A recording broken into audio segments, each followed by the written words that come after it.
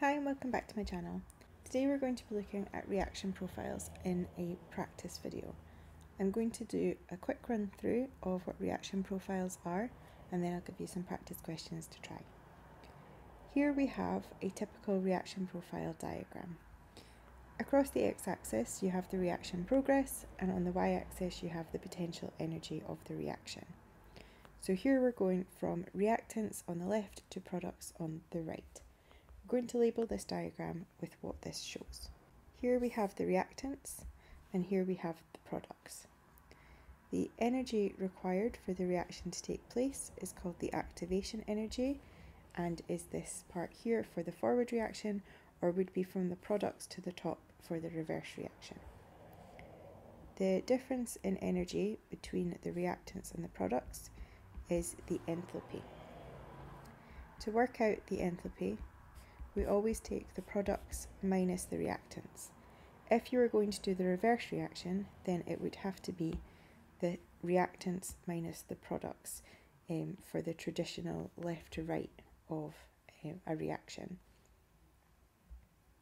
At the very top, at this part here, we have the activated complex. The activated complex is an unstable arrangement of atoms, which is found uh, when we have had the minimum energy required for the colliding particles um, within the reaction. Here we can see two different types of reaction profiles. This first one here is for an exothermic reaction. This is where energy is released.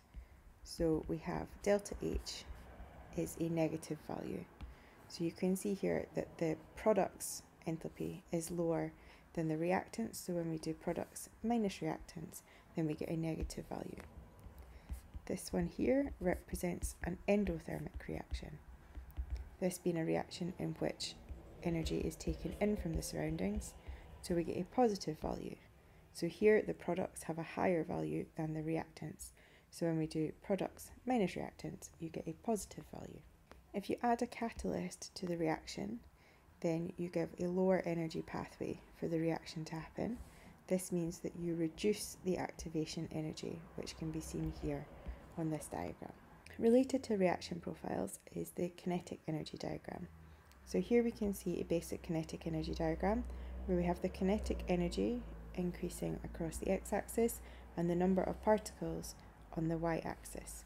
You get this curve here where a very small number of particles will have a low kinetic energy and a small number of particles will have a large kinetic energy and then the majority will be here in the middle. Temperature is a measure of the average kinetic energy of all of the particles. So if we have here this as a medium temperature, if we were to increase the temperature, then the average kinetic energy will also increase. So when we draw the curve, we move the peak of the curve over to the right and it will be lower down. So that will be for a hotter temperature.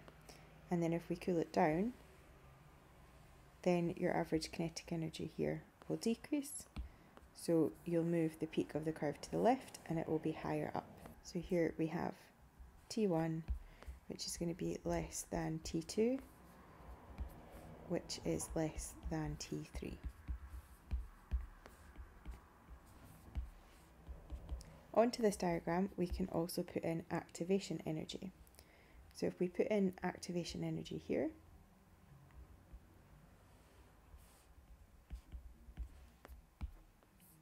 so we can see that everything in here, so this is our original curve, these are the particles which would have enough energy to react in the original curve.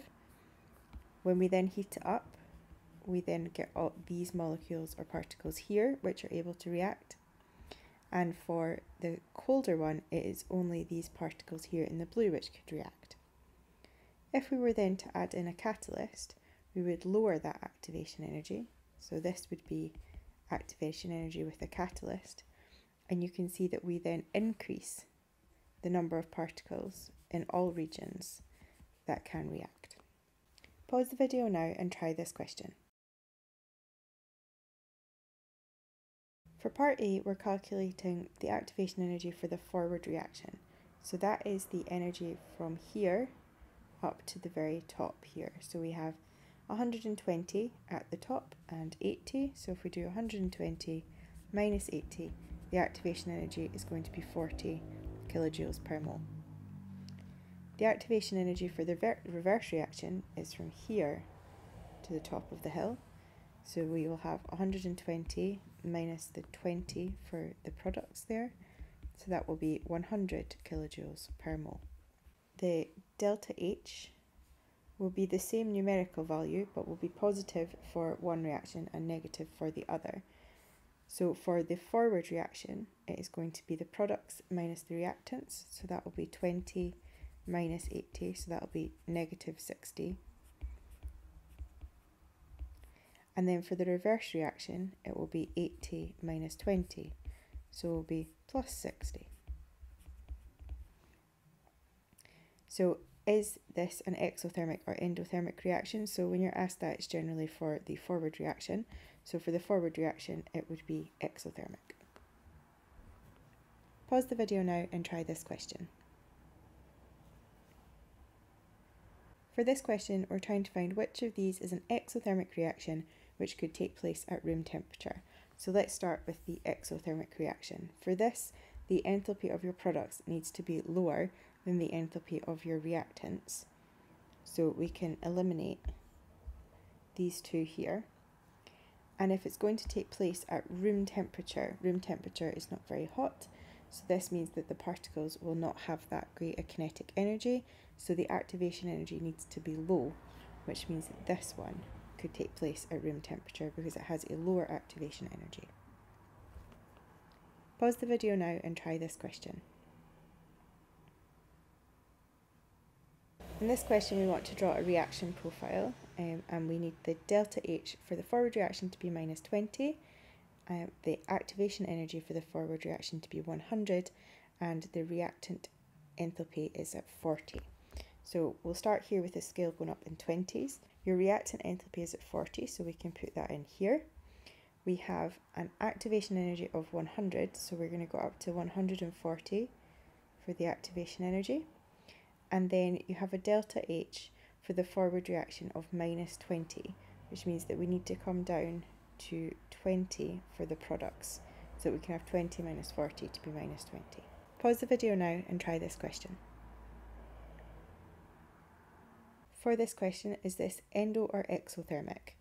We need to look at our reactants and products. You can see here that our products have a greater energy than the reactants, this means that when you do products minus reactants, you'll get a positive value, and therefore this will be an endothermic reaction. We need to add in a line to show the effect of adding a catalyst. When we add a catalyst, we lower the activation energy, so the height of the hill will be smaller. Add a star where the activated complex forms. The activated complex always forms at the top of the activation energy. Pause the video now and try this question.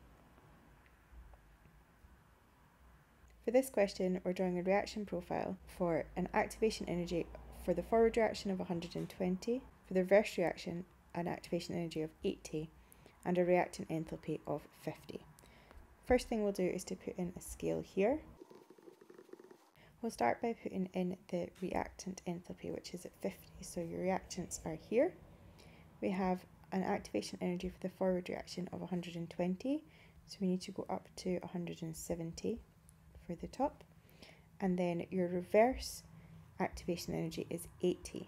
So if we have 120 from here to here, from here down needs to be 80. So if we're at 170, uh, we're going to take off 80. So that will take us down to 90, which will be about here. Pause the video now and try this question.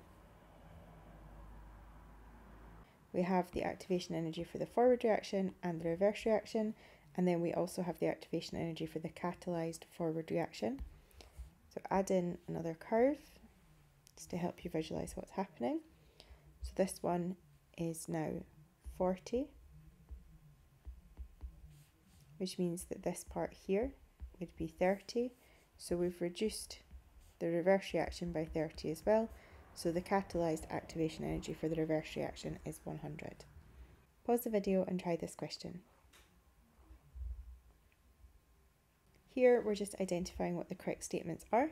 So as the temperature increases from T1 to T2, what happens to the activation energy? Does it increase, decrease, or stay the same? So the activation energy will stay the same, but the number of successful collisions will increase. Pause the video now and try this question. For the first part of the question, we're adding a line to show the effect of decreasing the temperature. So the temperature, when it's decreased, we'll move the line to the left, but it will also be higher up than the original line. And we're also going to add a line to show the effect of adding a catalyst. So that will lower the activation energy. So this will be your activation energy with a catalyst. Thank you for watching my video. I hope that you found it helpful.